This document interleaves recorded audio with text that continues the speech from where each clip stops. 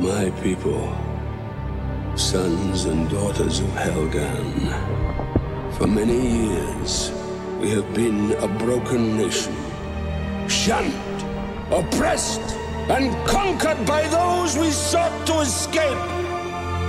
Ten years ago, I asked for time, and that time was granted by you. You, the strength in my arm, the holders of my dreams.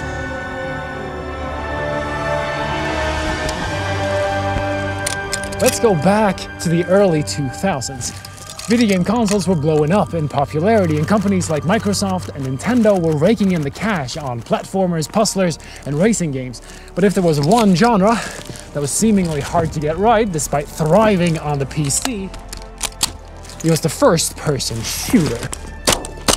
Microsoft had their exclusive in the Bungie developed Halo series, genuinely pushing the genre forward while being a gamepad first experience. Halo changed the scene, seemingly overnight. Console FPS games now weren't just viable, but if you didn't have a flagship one on your own, you'd miss out on a huge market. And so, Sony, despite having one of the most successful consoles of all time in the PS2, lacked a true first party FPS, revealed Killzone and it didn't take long for the media to declare Killzone Sony's Halo killer and completely run with it. But this, this wasn't just a Halo killer. This was something completely different.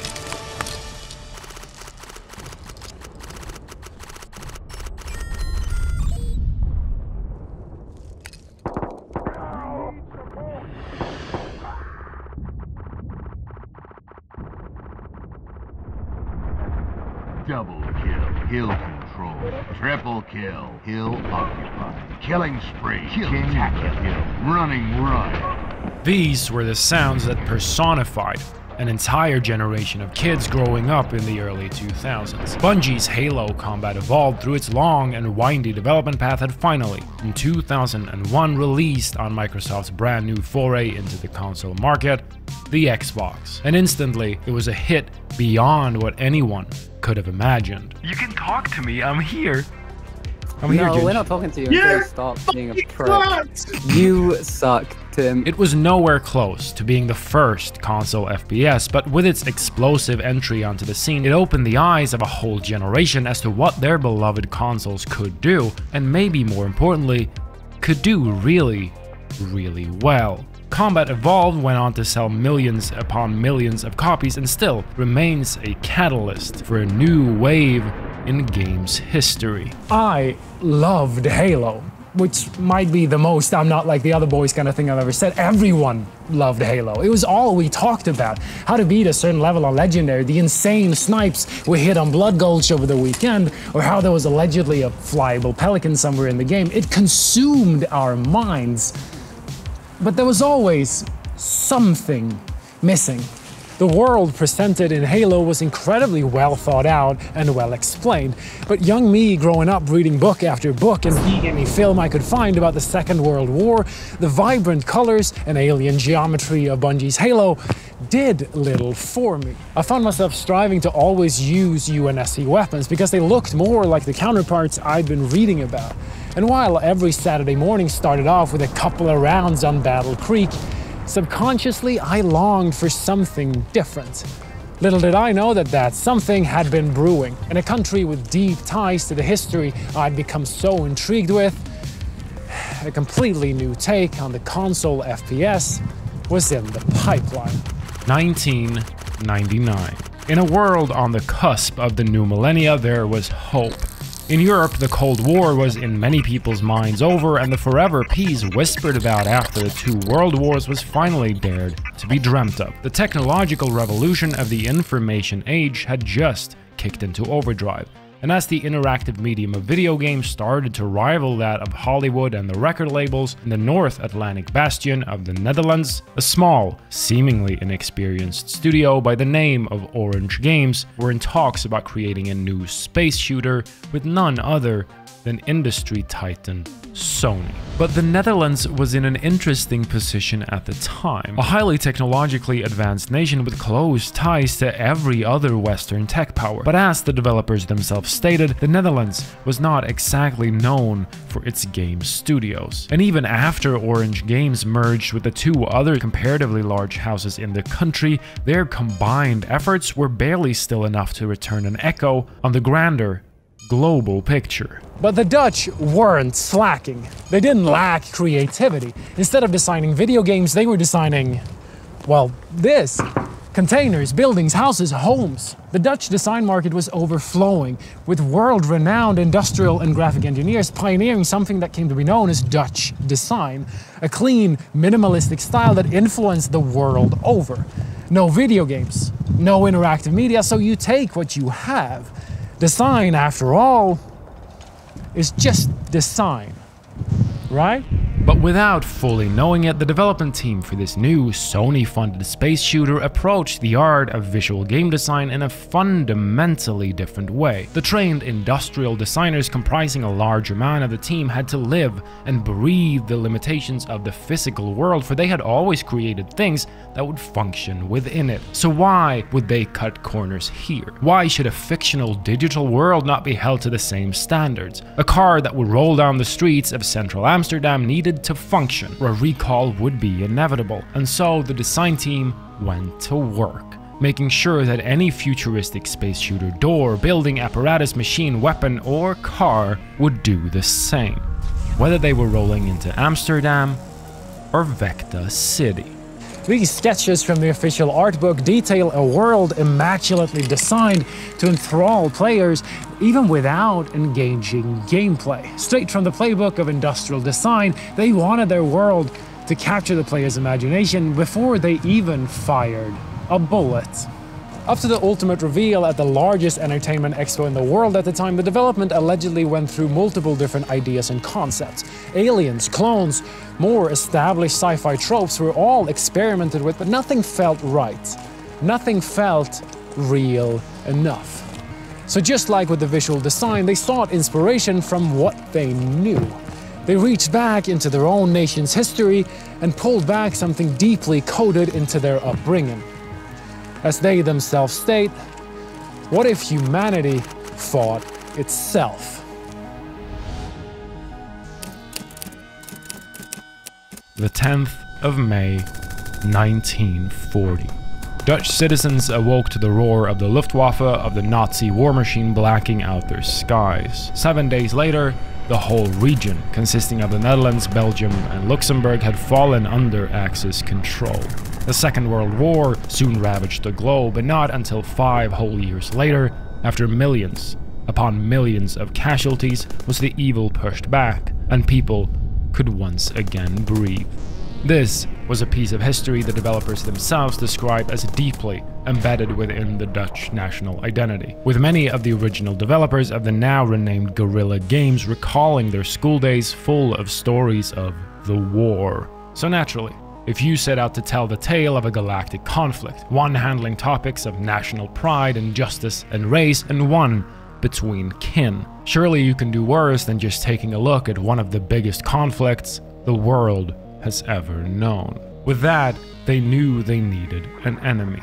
Something that would seem both indescribably evil, but just like the rest of the visual design, also capture the player's attention by their presence alone. An enemy that, just like their clear inspiration, would seem a spirit risen straight from the depths of the underworld. That enemy became the Helghast. In the time you have given me, I have rebuilt our nation. I have rebuilt our strength. And I have rebuilt our pride. Our enemies at home have been re-educated. We have given them new insights into our cause. On this day, we stand united once more. On this day, those driven to divide us will hear our voice. On this day, we shall act as one, and we shall be ignored. This. Defenders of the Helghast dream, now is our time!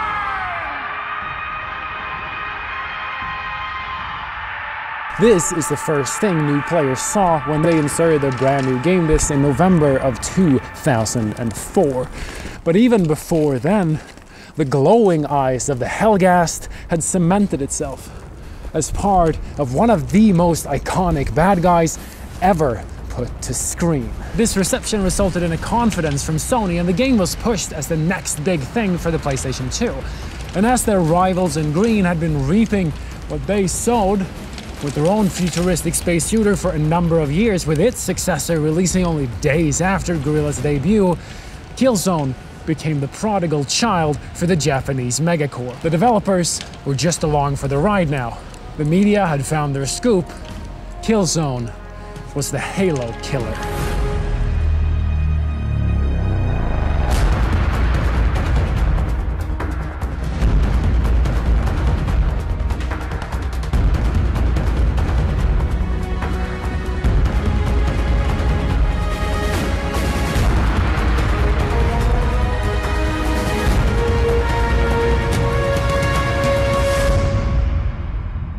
The marketing had appeared to work. By the end of 2005, the game had shipped over 2 million copies and the iconic visual design had been cemented within the PlayStation brand. Killzone was, just like the marketing and the media had pushed it, just like its green armor-clad rival, a space shooter. It was also a console-first experience and featured both single and multiplayer modes, but that was really where the similarity stopped.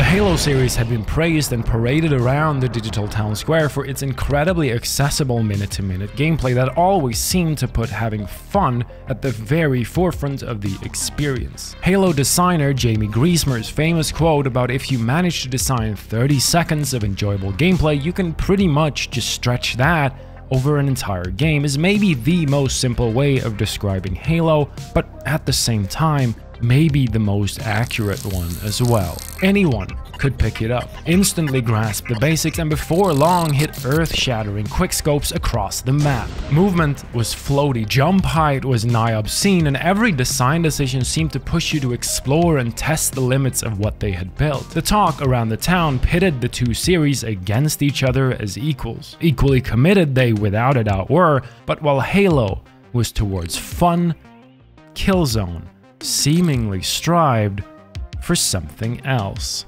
These games are wildly opposed. I don't think you need a PhD in being pretentious about video games to see that these games play incredibly differently. Now, I'm not out here saying Killzone isn't enjoyable. Anytime I play through it, I'm having the greatest time, but am I having fun? Like jump in a warthog, run over 12 grunts, and then push my friend off a cliff kind of fun? I don't think so. Killzone is deliberate, it's grounded, gritty, and for me, despite both of them being completely made up far future sci fi stories, undoubtedly feels more real. So, did it end up killing Halo? For the masses? Absolutely not. It sold well, yeah, sure, but I mean, Halo is is a juggernaut. It'll be around long after both you and me are gone, but for me, oh, it absolutely did.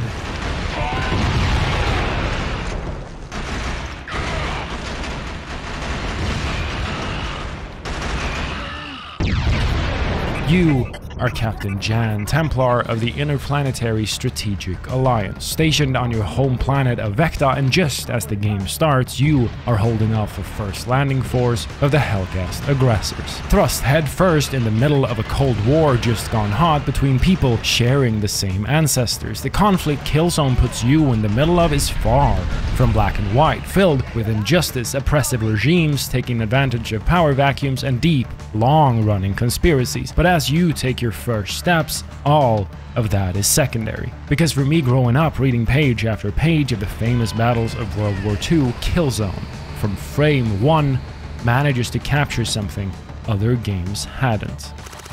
Wait. Squad, move out! Got company!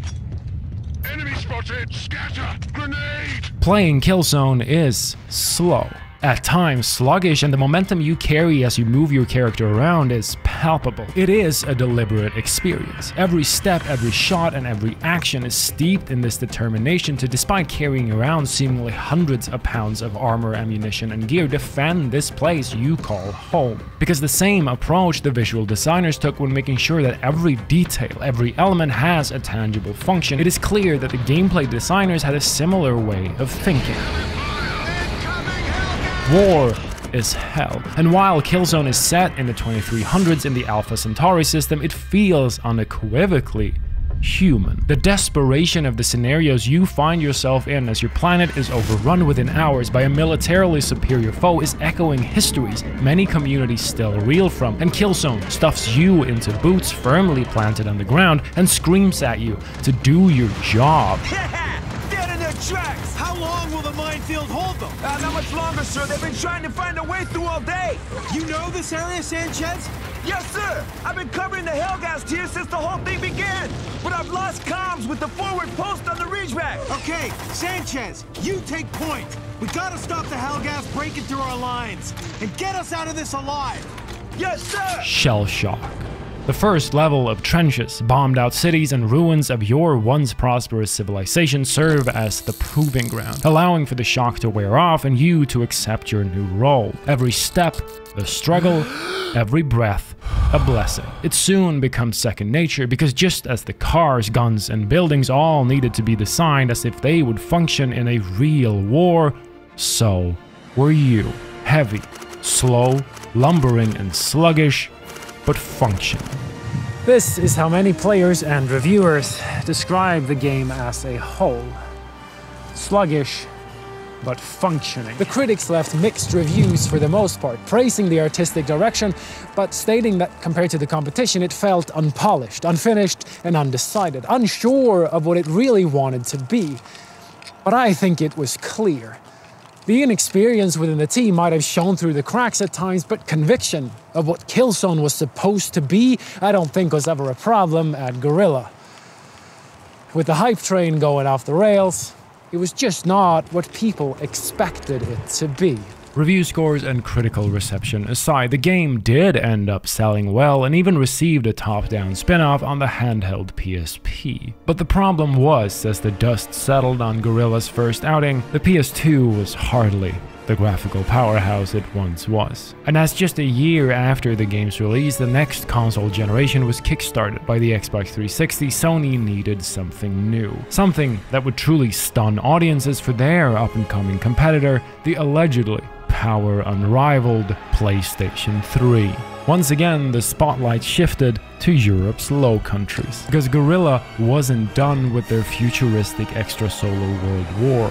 And anyone who thought differently, they will know that this conflict had just gotten started. They will know that there was a burning hatred still ravaging the skies. They will know that the history of these days was to be written in blood. They will know Helghan belongs to the Helghast.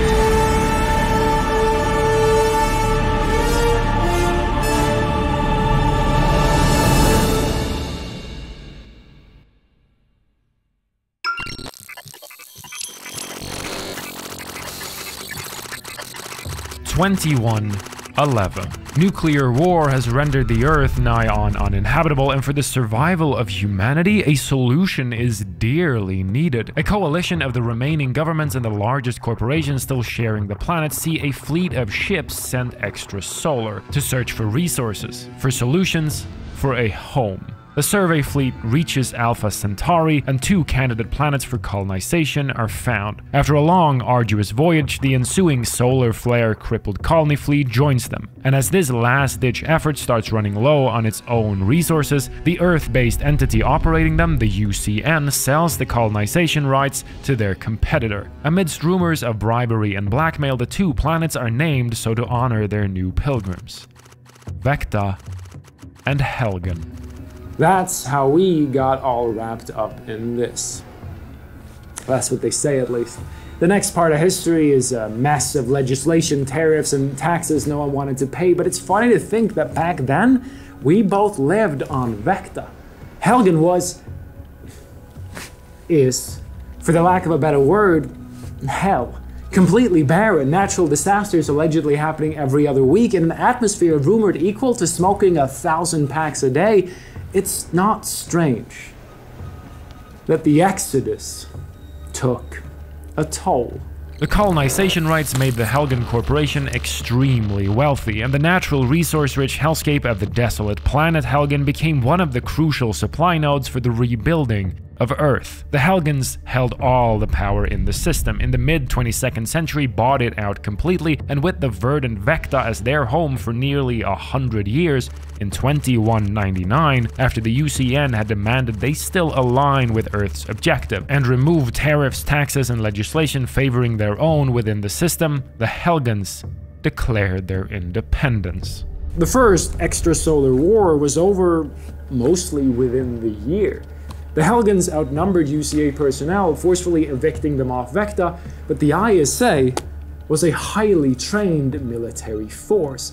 The war had started off rough for the newly independent, but it quickly got even worse. What had started off as a trade dispute was deemed multitudes more serious, and as to send a message to any other independence aspiring colony, the UCA sent their cutting edge navy to deal with the secessionists.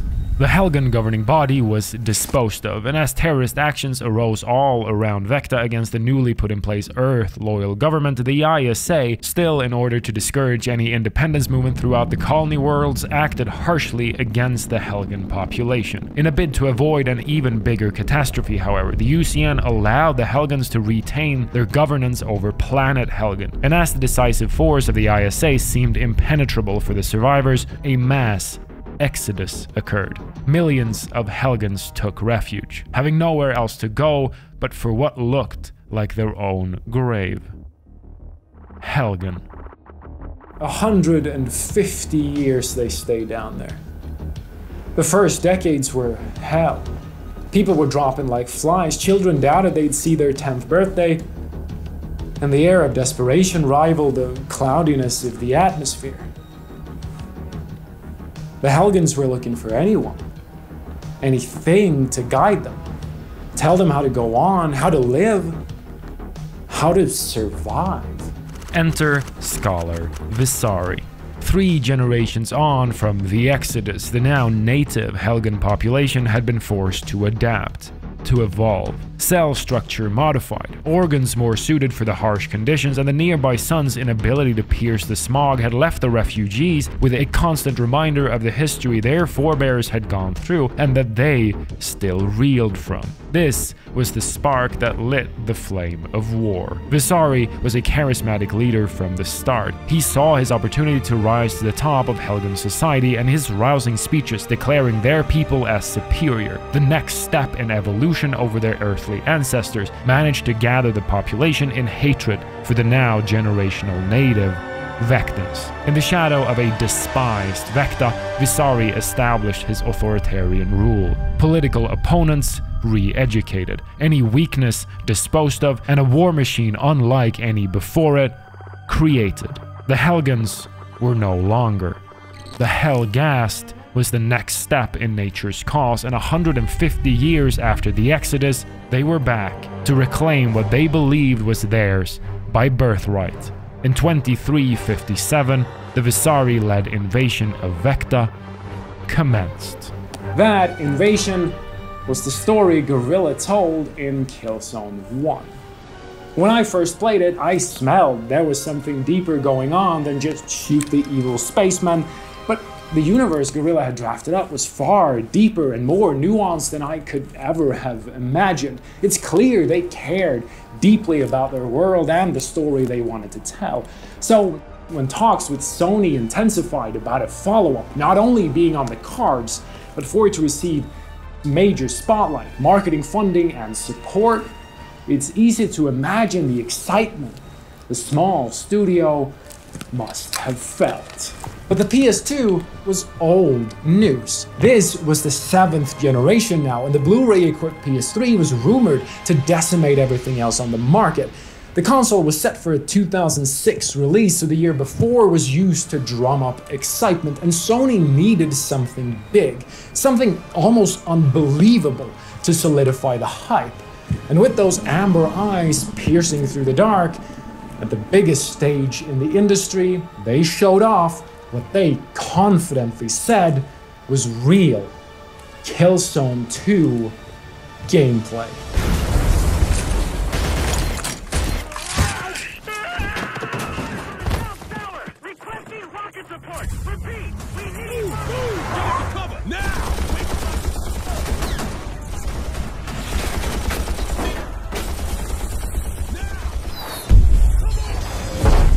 This isn't real gameplay.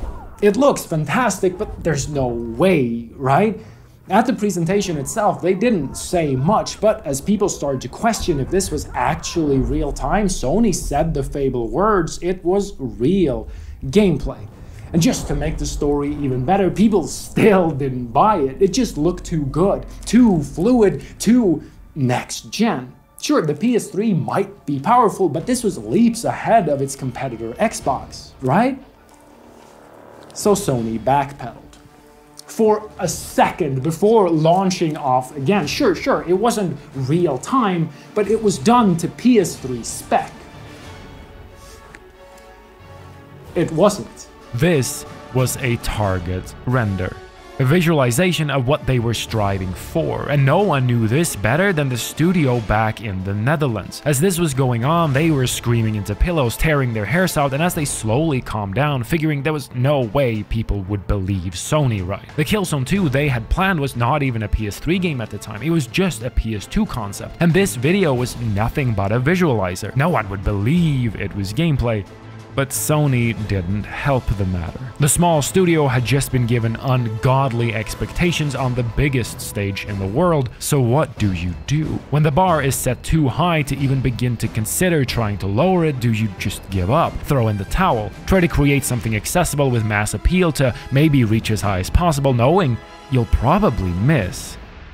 That didn't feel like the Guerrilla way. So they got their heads down. Same way they done with the predecessor, they knew what they were good at. They knew what they wanted to say. So when they got the chance to finally show gameplay, real, actual, real-time running PS3 gameplay with the ridiculous expectations still haunting them, they managed to do what seemed impossible. The Killzone 2, they finally in 2009 released, somehow, some way, looked better.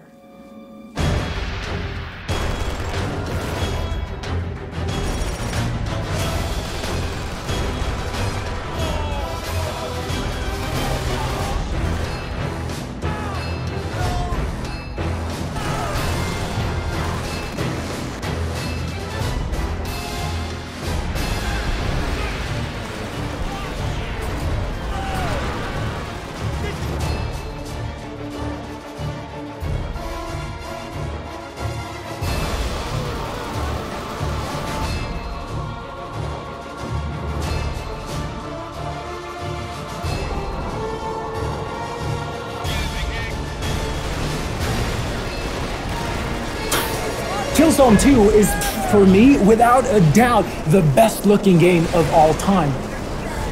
Look, I know it's a PS3 game. I know that it runs at like 720p at like 25 frames per second. I'll get into all of this. It's just not a great time right now, okay?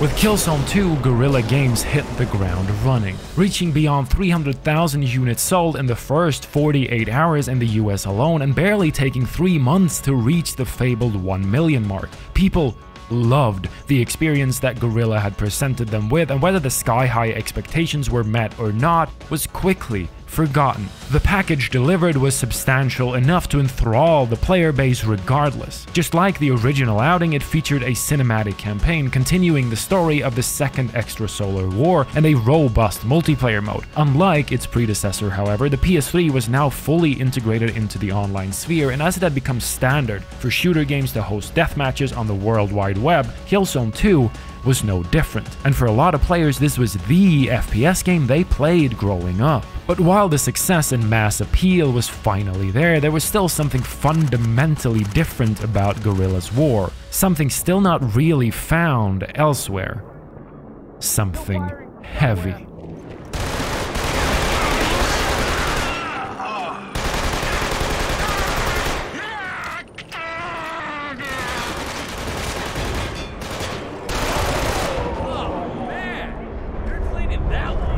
After Visari's invasion had been thwarted in Killzone 1, the ISA found themselves at a crossroads. The supremacist fascist dictatorship that Visari had established on Helghan had just been dealt a substantial blow. And while their own organization's previous actions still haunted them, they realized that leaving the Helghast regime to recoup and regather itself could lead to far worse scenarios. So the decision was made. Operation Archangel was penned, and in 2359, the counter-invasion of Helghan commenced, landing ISA troops right in the middle of Helghast capital, Pyrrhus.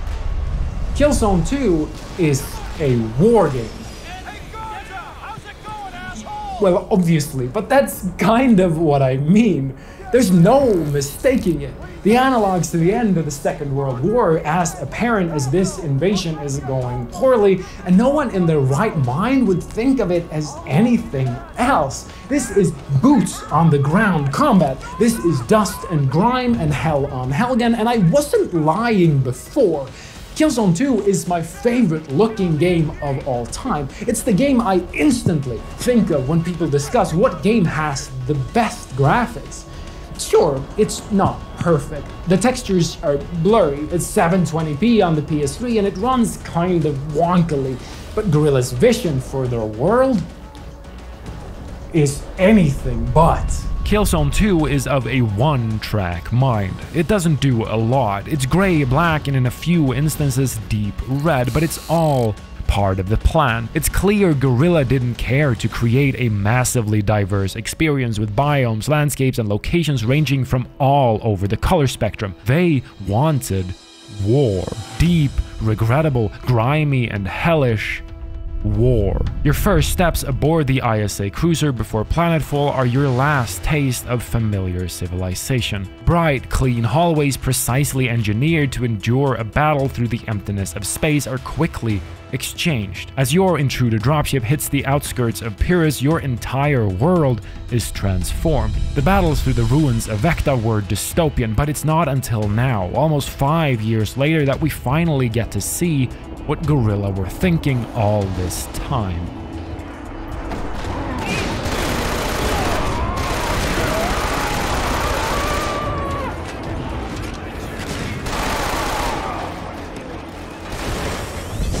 Every engagement in Killzone 2 is steeped in desperation, every step deliberate and every shot fired a hope for a tomorrow. Killzone 1 was heavy. It felt different to any other shooter I'd played up until that point. You needed to be precise to stay alive, but the war-torn world around you did everything it could to knock you off balance. It was a frustrating experience at times, especially when the big competitors seemed to favor you hitting highlight-worthy shots at every level, that's what sold it. The world, history, and war of Guerrilla's Killzone was just that frustrating. It wasn't supposed to be easy to find yourself in a firefight with an enemy staring through your soul. It was supposed to be a fight for life and death. And that, beyond any other element, is what Killzone 2 is.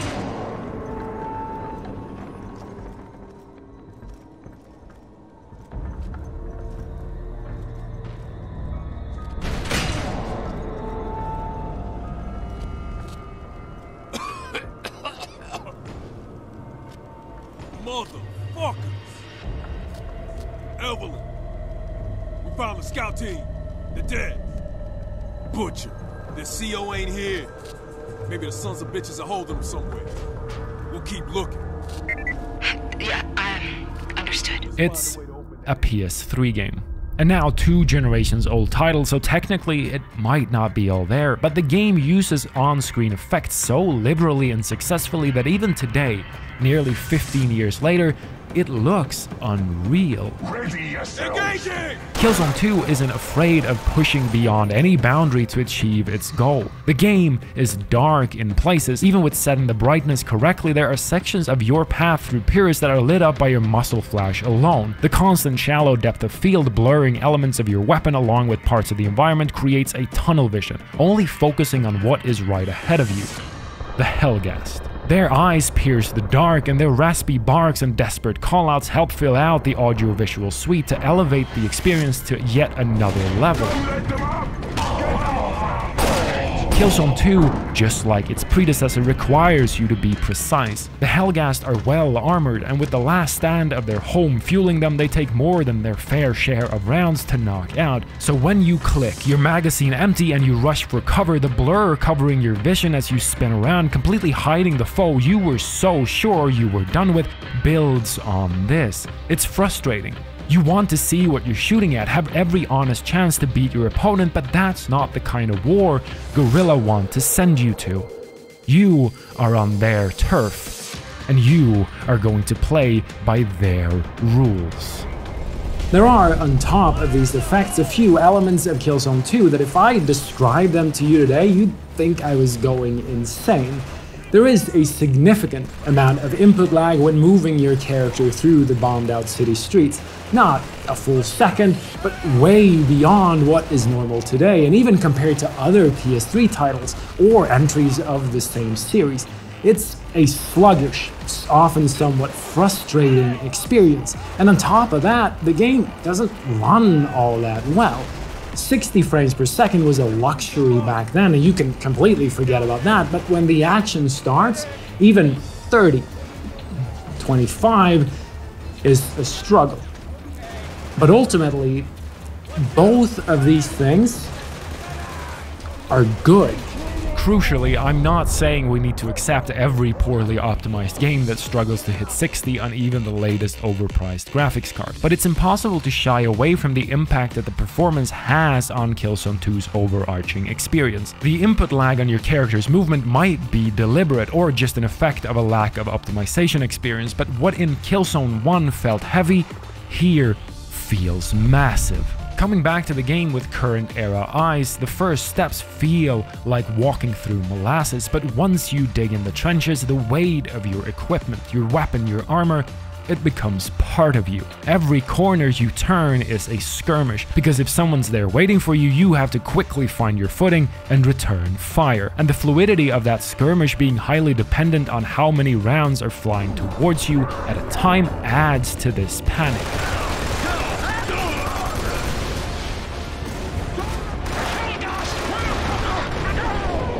If a game drops below a steady frame rate, it's naturally seen as a failure, and it absolutely can be here too, but somehow knowing that when things go south, nothing can be counted on adds to the war Guerrilla has built. It's frustrating, but it kind of feels like it should be. It's a hard call. I don't want to say that every poorly running game is forgiven just because it's tense, but at the same time, in the context, it kind of feels like it fits. It feels like the Helghast pulling out every stop, overwhelming you at every turn, blanking out the skies, tearing at your lungs with every breath they take. And that is just it. A war gone completely out of control to the extent where you can't even trust your own eyes. A pivotal moment for the future of humankind, and everything is thrown at the wall. Killzone 2 is a masterpiece. It is flawed. It lacks almost any memorable characters, and the story is almost over before it begins. But again, that's kind of what makes it. It's a war game, and every element is drenched in this hopelessness of the soldiers giving their lives for the end of the world. For me, Killzone 2 is perfect.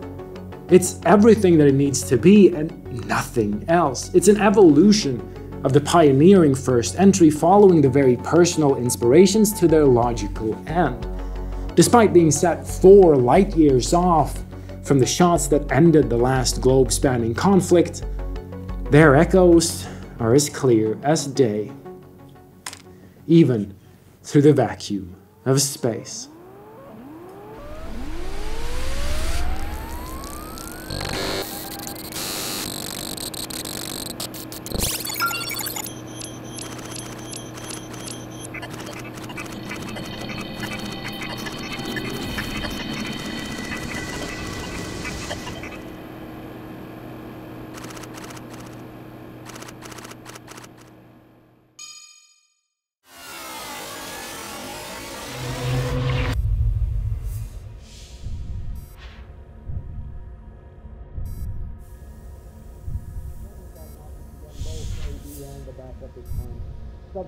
This the video to see that case of the this. You the. You the back. Yeah. Right. Good job. Up already, are we? You know you're supposed to be here two hours ago. No matter. I know it's a long voyage. Sorry about the short notice anyway, but we're gonna need some one of your capabilities for this one. Right, here's the situation. Your eyes only. As you can see, this is a satellite scan of our beloved Vecta City. The highlighted part, New, New Helghan.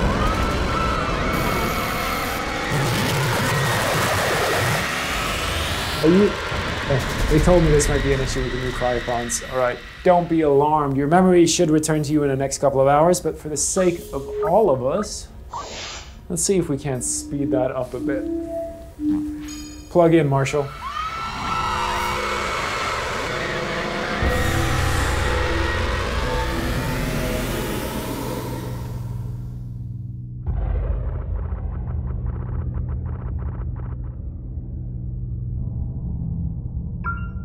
Killzone 3. After the second game's hopeless, melancholic ending, it was clear that the war it continued still wasn't over.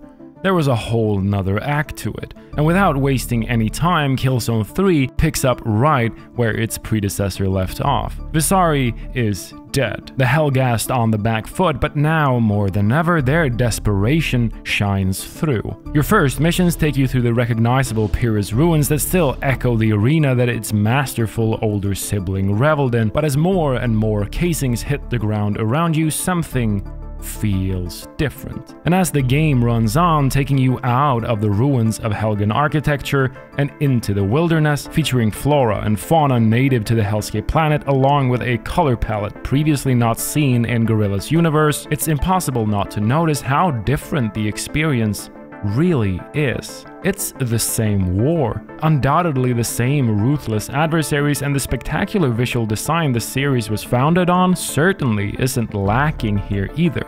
And yet, it feels different. I don't see Narville. River's that way. That's where he said we gotta cross. Yep. Just hope everybody makes it this time.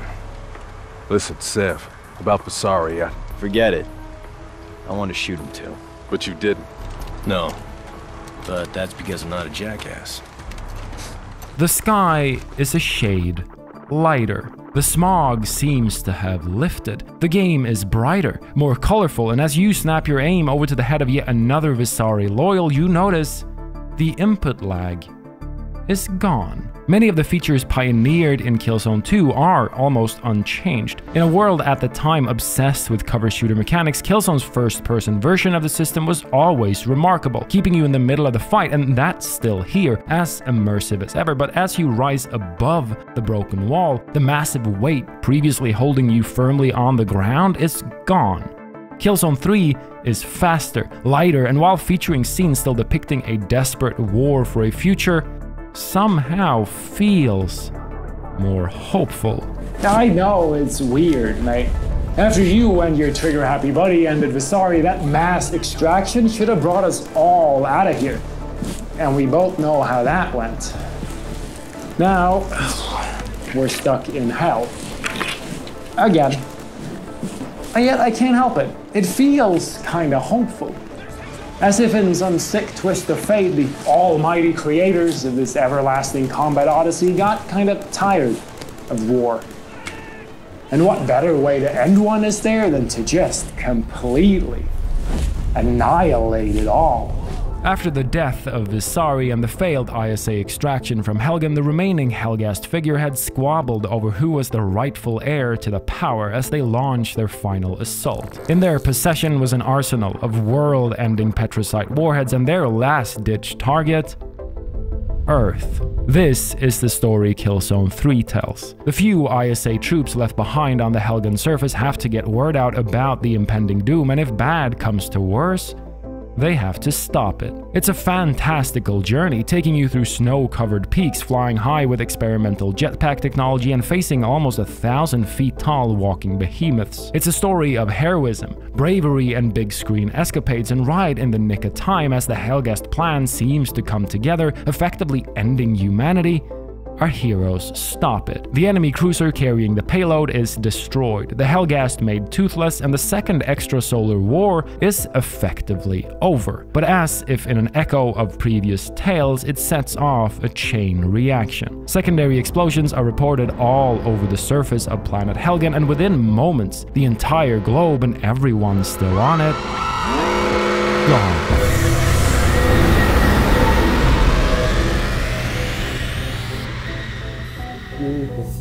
You sure make these recap files long, eh?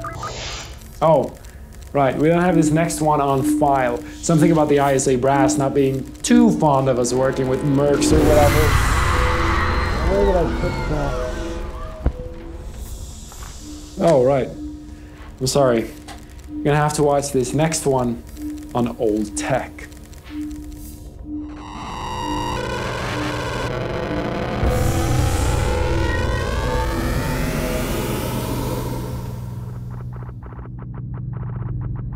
Killzone Mercenary.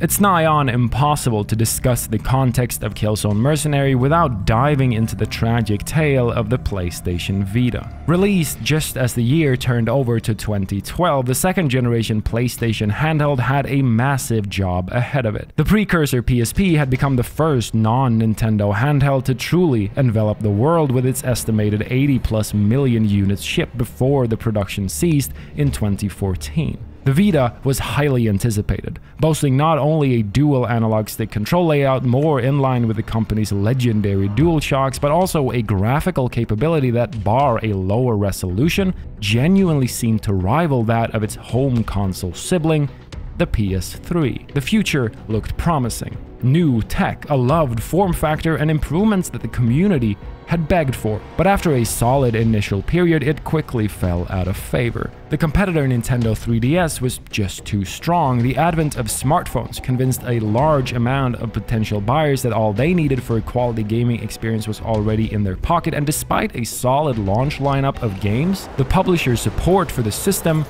quickly vanished. Only a select few of Sony's first-party titles made it onto the platform before they pulled the plug, and even fewer outside of Japan. Among them was a solid Uncharted entry, a spin-off of Insomniac's Resistance franchise, and a number of collections of their highly regarded PS2 games. But for many, what ranks as perhaps the greatest Vita game of them all is a side story to our little extrasolar war. In 2013, developed by Guerrilla's Cambridge branch, Killzone Mercenary released. And the game sold well. Well, I mean, it sold well given the four people that owned a Vita, but I'm pretty sure almost all four bought it, so we're batting pretty close to a thousand here. The game transports us back through the war and then spans all throughout the two invasions, but you're not fighting as an ISA soldier this time. Nor do they flip it and make you Helghast. No, in Killzone Mercenary, you're walking the fine line in between. In Killzone Mercenary, you're a mercenary. The game follows many of the design choices made in Killzone 3, while pushing certain elements even further. The game is brighter, more vibrant, and is moved even further away from the oppressive war to end all wars of Killzone 2. And even the levels that take place on Helghan itself present completely new areas, all serving a fundamentally different impression of the desolate planet. The game doesn't just ape after its forebears in the gameplay department either. The mercenary setting sees you earn credits to purchase whichever firearm you see fit from either side of the conflict, and as the campaign goes on, you even find yourself accepting contracts from the once so spine-chilling Helghast, forever putting you at odds with the ISA.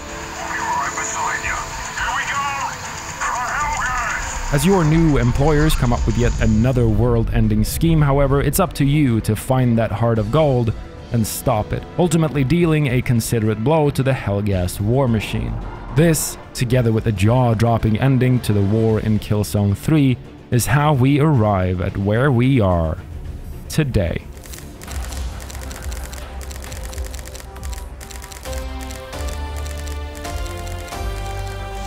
Ever since the end of the Second Extrasolar War, we've shared Vecta. The few survivors following the Terracide, perhaps in hopes of reconciliation over the Exodus, were welcomed on the planet. Vecta City split in two. New Helghan was established and the wall dividing the neighboring sectors was built. Humans previously living in the now Helghast-controlled region were evicted. If they refused, they were shot. Human Helghast racial tensions remain high and the winds of a blossoming conflict are constantly blowing. But as of now, for the first time in a lot of citizens' lives, there is peace. An uneasy one, but peace nonetheless.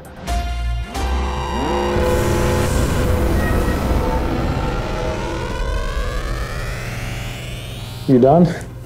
Jesus. Kinda wish that guy would keep it brief for once. Alright, once your real memories come back, you might be a little bit hazy, but take this one for the team HM. Now, where were we? Now that you're up to speed, here's the situation.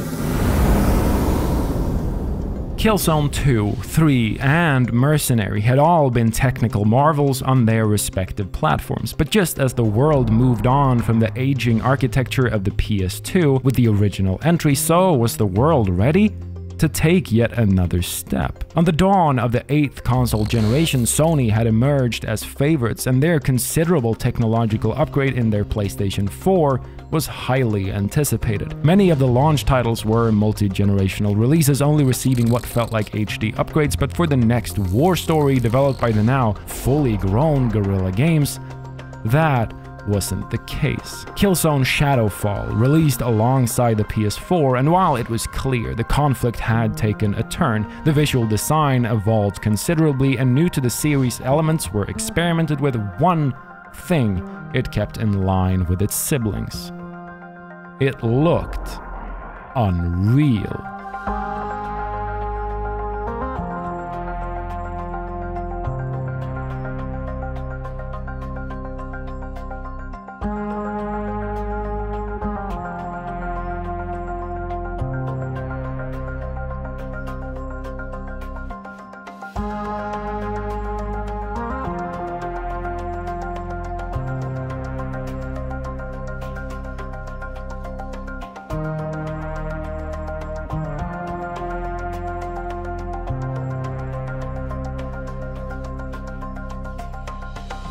Shadowfall ushered the universe into another stage. The extrasolar wars were now over. In their place, a chillingly familiar sight took hold and an era of Cold War was established. The missions of Guerrilla's sixth Killzone games are less open warfare than any of the previous titles and instead place you in the shoes of a Shadow Marshal, an elite Special Forces operative conducting whatever the ISA needs done behind enemy lines by the almighty wall.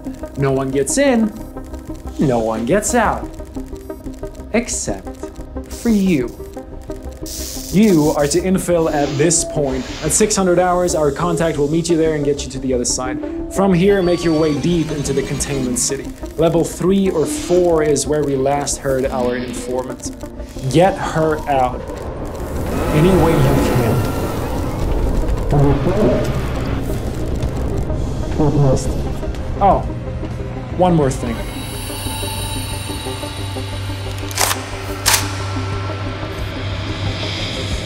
The future is counting on you. It's up to you to make it whole.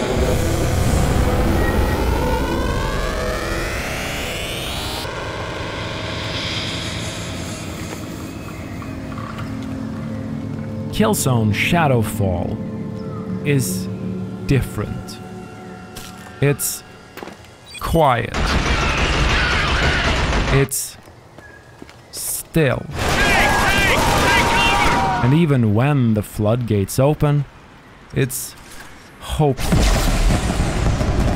Operating behind enemy lines, placing the entire experience on something far below the warring factions, shifts the focus away from the bombastic assaults and planet-shattering invasions of yesteryear, running missions taking you directly through people's apartments, living rooms, and the slums where they've been forced to set up, shines a light on who always ends up taking the brunt of the aggression. When the ones upstairs want to go to war. The people on either side of the wall, whether living in comparable perceived freedom or below an openly oppressive regime, share a wish to end the hatred. But that's not all. For as deep in despair as the Killzone universe has often existed in, the later titles, culminating in Shadowfall, show that beyond any other element, the people, no matter sector, all manage to hold on to one thing hope. I don't care who you are, just help! Somebody please help us! This is all I have. Thank you. You have to tell your people to stand down. We can't let this happen, Kellan, not again.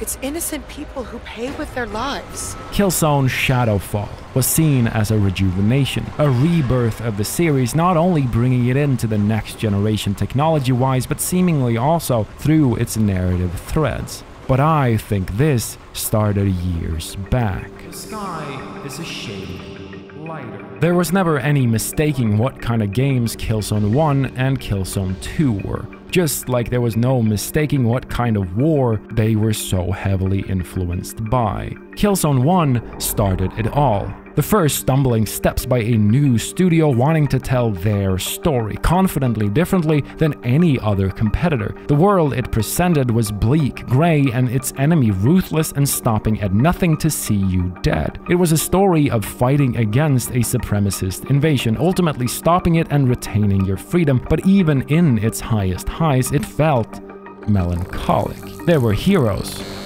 but it lacked the heroism and this thread continued in 2009 with Killzone 2. A graphical masterwork, despite being nearly 15 years old, still holding up. It told the story of the counter invasion, bringing the war to the adversary's front doorstep and putting an end to it once and for all. It was set up to be a glorious march to end the war that would end all wars, but as soon as Planetfall occurred, it was something else entirely. The Killzone identity established in the first game was expanded upon. Every step felt like it carried the weight of the world, and even the gameplay mechanics were altered to make the experience a struggle to get to grips with. The heroes of the Vecta defense were gone, instead replaced by grizzled, war-torn, desperate soldiers wanting nothing more than to put an end to this whole thing and go home. And even on the final note, having captured the supremacist leader, it ends on a melancholic tone. Sergeant, what happened? Shit. Sev! God damn it! It's a game of grime, dust, dirt, and hate. Completely unlikable characters and clunky movement. It's a game that's disorientating, harsh and sluggish. It's mundane, bleak, and unceremonious. It confidently never eases up to give you any satisfaction of fighting in a war, and it desperately wants you to remember that you've just stepped into hell. Personnel to battle stations. Repeat, all personnel to battle stations. Shit! What now? Come on! Sev, let's go! Move! For me, Killzone 2 is the perfect war game. It does everything it has to convey what it wants to say, but nothing else. It's a simple struggle all the way through, and at the final note, after building it up with the tensest, hardest, most frustrating fight the game has to offer, it leaves you wondering what it was even good for in the first place.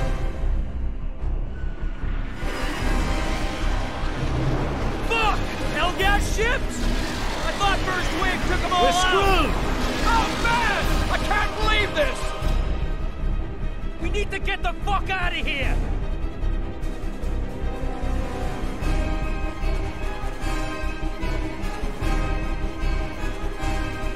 Move out! Move out! Report to your COs! Come on, people, let's go! Let's go!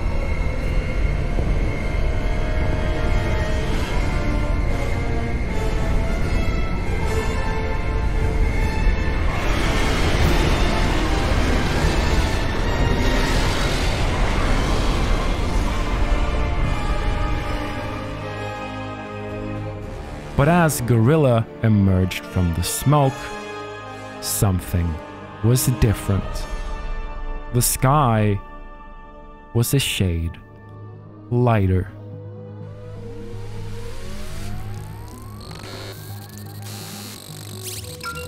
You pushed into the dark. You stood on the threshold before deciding to dive into the abyss to tell the story you wanted to tell. You've painted your world with the darkest hues and brought forth something primordial. You've battled your way into hell, you've conquered all it had to stand against you, and where has that left you? You've made a home for yourself, a deeply respected, envied home, where you can forever be the studio that made the greatest war game of all time. But seemingly, Guerrilla didn't see it like that. Just like the people offering up their lives for the conquest of their superiors, they held on to something else. For the world they cared so deeply for, had dreamt up and nurtured into their livelihoods, they saw a different future. They saw hope.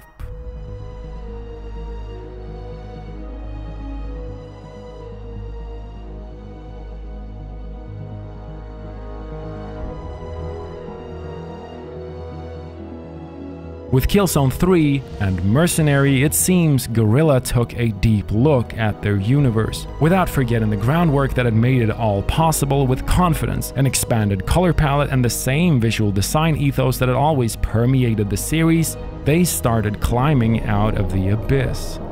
The war was still desperate, still leaving humanity on their last legs, but instead of the endless trenches and back alleys lit only by your adversary's glowing eyes, it looked up, found conviction in the fantastical, and went on to create two experiences with everything Killzone 2 had deemed unimportant. Characters were now memorable. Locations pushed out of the dark and desperately needed heroics were found at every turn. Guerrilla had set out to explore their universe. What else could they do? What other stories were there still to tell? What nuances were left undiscussed? Could you really tell a war story without an active war.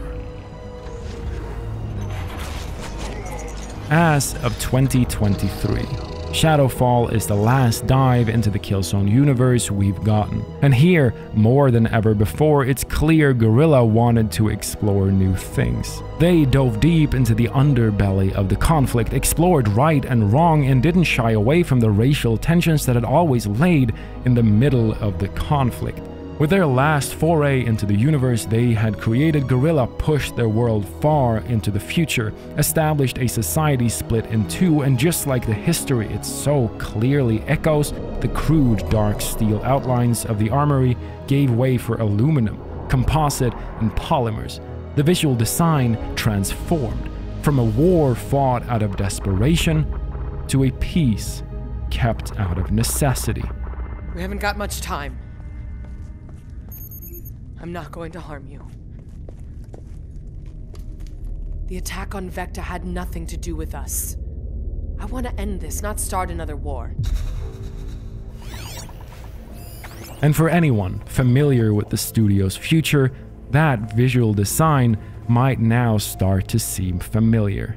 Four years after the last wargame, Guerrilla released their first non-Killzone title since the series started the instantly adored, worldwide mass success, Horizon Zero Dawn.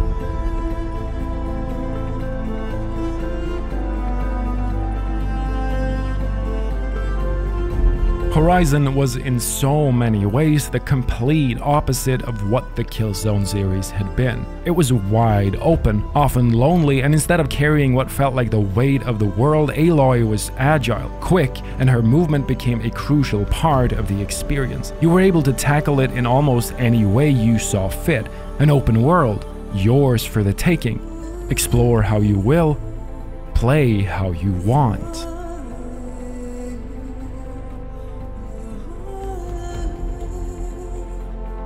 The game went on to become one of the best-selling titles of its generation, and as it released on PC as well, the sales exploded. Horizon brought a new wave to the Dutch studio, and their years of practice had set them up to once again create a truly one of a kind visual design.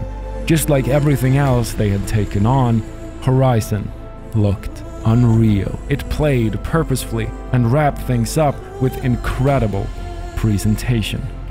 The war was well and truly over. Guerrilla had envisioned a world defined by nothing but its conflict. And 14 development years, 5 platforms, and 6 games later, as the studio's credits slowly scroll across the screen, they had created a universe filled to the brim with memorable moments, world class design, and explosive narrative turns that all, while just like its inspirations, always stemmed from war, had risen above.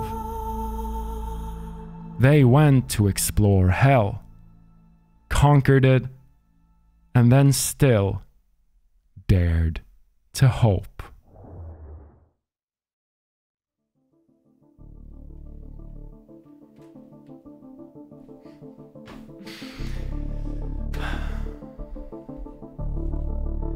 So, did it end up killing Halo? no, not even close. It sold well, yeah, sure, but Halo. Halo is a juggernaut.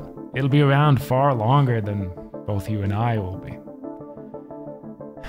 But for a number of years, and the last 50 or so minutes, I'd completely forgotten about it.